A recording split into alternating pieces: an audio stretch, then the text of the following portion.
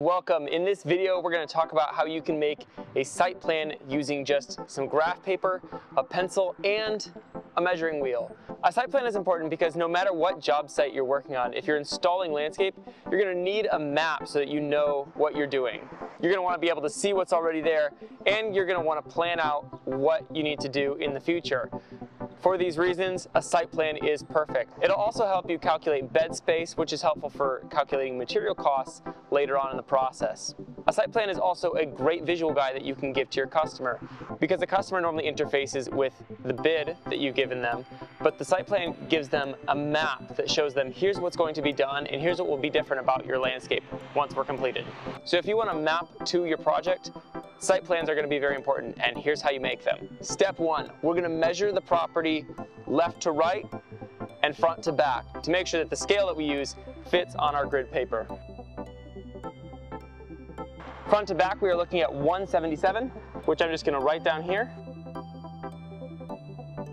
Ordinarily, I would want to use 1 8 scale, which means every one of these little blocks here, which is exactly 1 8 inch, would equal one foot in the real world. For something this big, we would want to bump it up to 1 16th or 1 32nds. However, because I know that I'm going to be working only around the house, that's the only place where I'm going to measure. So I'm going to measure the distance from one side of the house to the other and then front to back.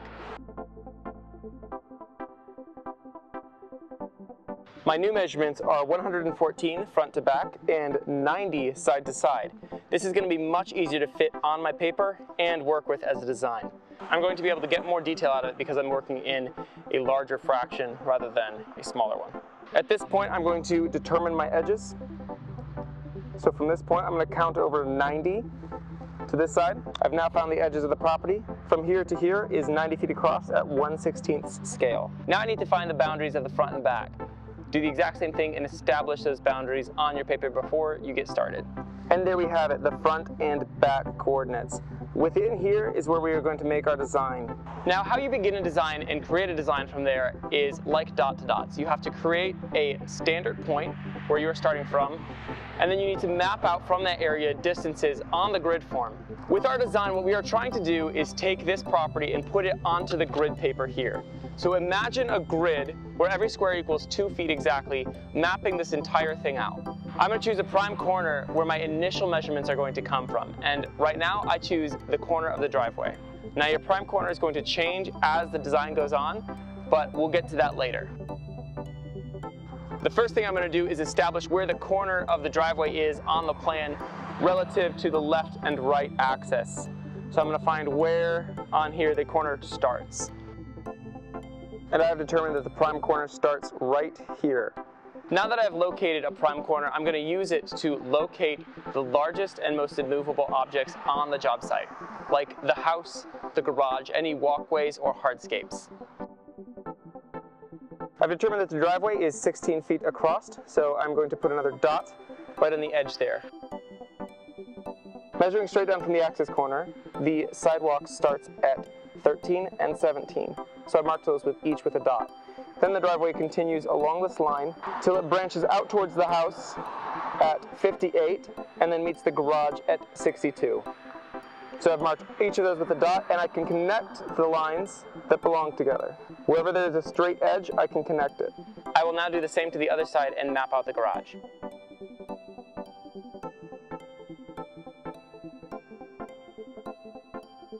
Now that I've mapped this, I can measure straight down from this side of the drive to find out where it is and where the front of the garage is in relative coordinates to this corner. You come relatively straight down and then angle up. Jumping to the garage, I measured out from this point over two feet and found out that that is where the corner is. Measuring across the garage, it measured 24 feet to the opposite corner. Hence, I'd established this corner. I'm gonna connect those. And then I'm gonna connect these two. Now that we've established where the drive and the garage are, let's look at the front of the house and get that established before we move to the back. We're now going to start measuring the front of the house. And for this, and for the purposes of this section, I already got going by measuring the walkway, the front door, and the house out to each corner. What we still need to get are these beds. You can see they follow a curve or a natural angle. So how are we gonna measure those when we're using a grid system to measure everything else? So here is the house. The front wall comes out this way and I measured over to this point. Then this became my new prime corner and I used it to measure over to the house, over to the tree, and over to this point, which was about middle of the tree, and then up to the tree to discover where that was. Then what I could do is infer that this line met up with this line and it came straight across. So if this was three feet across, I could come up to here and then connect these two dots. From there, I could measure down to here and measure over to the edge of the house, determining its corner. From this corner of the house, you can measure how wide the porch is and then measure the entirety of the porch. And from here, you can also measure this distance, which can tell you the different the distance of the steps. Because the landscape is so thick in here and it would have made it hard to get an accurate reading, I measured from this point on the sidewalk out to here. And how I measure and make sure that I'm getting directly on this line is I just line up with my eyes and I see when does this become a flat surface or when does the far edge of this disappear because I can't see around it anymore. And then I measure from there to the house and I do the same thing with the house. When does the house become flat and when, if I back up, does the back half of the house disappear? So that's how I established this corner. And then to double check it, I measured from the hard surface of the driveway over to the house, just to make sure that those numbers match, and they did. So I know that that's good. But now we're working on the bed edges, and the bed edge right here, I measured out three feet and to the top of this arc and found that that was six feet out. So I know that this goes straight out for a little and then curves up around this corner, but I don't know where this goes. That's what we need to determine here. It works like this. I'm gonna measure straight up off of the corner of the house. Six feet, nine inches. We're gonna say seven. I'm gonna make a dot, and then I'm gonna go two feet in. Now, because this bush is here, what I'm gonna do is I'm gonna line up straight out, keeping my eye on the spot. I'm gonna determine that it's right here, and then I'm gonna line up straight across the house, come straight back, and go at a place where I can actually access with my wheel straight to the house. That's 10 feet in at two feet over. And then I'm gonna repeat that process. We're gonna go four feet over. You know what? I'm gonna take it one further. We're gonna go five feet over because we can. Once I found five feet over, I'm gonna go straight out and we're gonna end there, 13 feet. So here's what I've learned. The path goes like this, over there kind of does one of these little curves here, right to the tree, which is actually more in this area. So I'm just gonna draw an X there and redraw it here. The important thing to remember with this plan is that you want accuracy. So with that, I messed up the tree. Instead of getting disgruntled about it or just insisting that it was where I originally measured it, I just removed it, X'd it out, and moved it to where more accurate measurements revealed it to actually be. Remember what you're trying to do here is take a physical space and cram it onto some paper in a two-dimensional overhead form. The importance of this being that it might translate to your bid being short or high by a couple hundred or a couple thousand bucks. Now that we have one front bed done, let's do the other. I can see that the stones tie right in here to the sidewalk or the porch, and I'm going to measure straight out along them to where they start to deviate from that straight line. It is nine feet exactly. And I can double check this by measuring straight across to my hard surface and then double checking that on my map. Looks right, nine feet. I'm just gonna put a dot there. Now what I can do is I can see that right here at this point, the stones meet back up with my hard surface. So rather than gridding this whole, out, whole thing out and measuring over multiple times, what I'm gonna do is I'm gonna measure right along this hard surface from the apex of where these stones meet back to the corner of the front walk over there. And that distance is 19 feet exactly, which means that 19 feet out is the apex of this curve. So I'm gonna mark that quick, and I'm gonna connect those dots to the respective places. I know that this stone wall has a little S curve in it, so I'm just gonna add that in. So over here, the stone wall doesn't quite reach the edge. So what I'm gonna do is I'm gonna measure off of this corner, and I'm gonna measure down till I think it's about at the apex, and then I'm gonna measure over.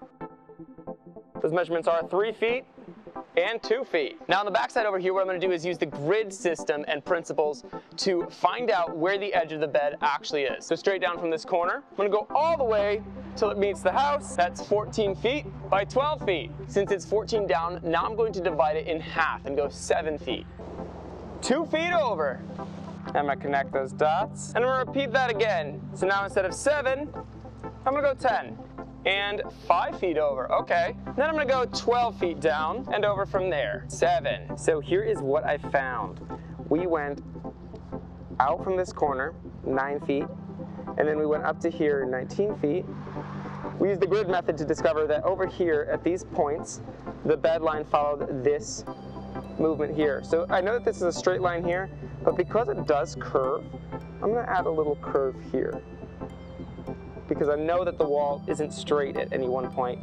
So it makes sense that instead of going straight from point A to point B, it curves just a little bit. And then right here I noticed that the spigot for this downspout comes out there. So I'm just gonna draw that there and make a little circle to indicate that that's a downspout. Now that we've got the beds, it's time to get the plants and the lampposts inside the bed. And we're gonna do this by using the grid method. First up is the lamppost. We are going to measure over from our prime corner to the lamppost, four feet, and then over from the bed edge to the lamppost, three feet. So that is four feet over, four, and then three feet in. Right here, that is the lamp post. And I like to use this little symbol for lamp. Now when you're dealing with thick vegetation like this, it's sometimes easier to use something stable like the lamppost as your new prime corner and measure out from there. And it's way easier to do this with a tape measure rather than a wheel, but I've just got a wheel, so what I'm gonna do is I'm gonna measure over to here, and then picking up the wheel and making sure it doesn't turn, don't turn, I'm gonna keep it right on point to here, four feet over, and I'm gonna draw a holly bush that's roughly that size. So I'm just gonna line up the lamp post to my solid surface, and I'm gonna measure straight down to center mass of this bush, four feet. So right here we lined up center to this lamp post, and then we measured down four feet to the center mass of this bush right here. I'm just gonna draw a circle. No texture for that guy. Now for the big guy. After many a harrowing adventure, I've discovered that this big guy is three feet off of the corner of the house. So from the corner of the house up three feet and then takes up this entire space here. And there is nothing in this section of the bed, so I'm not even gonna worry about it. Same thing over here. There's maybe just that bush right there, which I measured out to be two feet off. So there he is.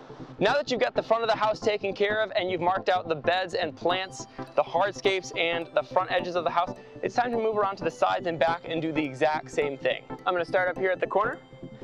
I'm gonna measure the entire thing, front to back.